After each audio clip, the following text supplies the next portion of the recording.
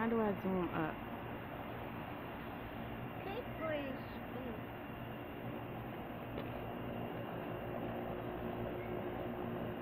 Okay.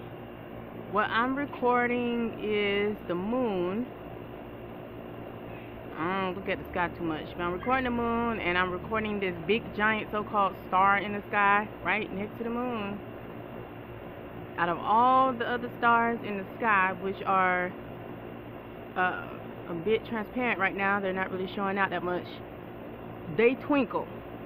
This is the only one that's so huge so huge. It's been in that same spot for hours.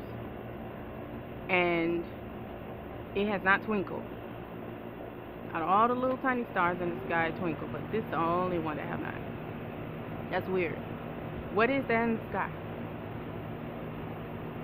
Just curious. And no, I'm not Muslim. I don't worship the darn moon goddess and the star and all that kind of stuff. But this is some bizarre stuff anybody else watching this or seeing this and have any it's not my own theory but anybody have anything just tell me what what this really is alright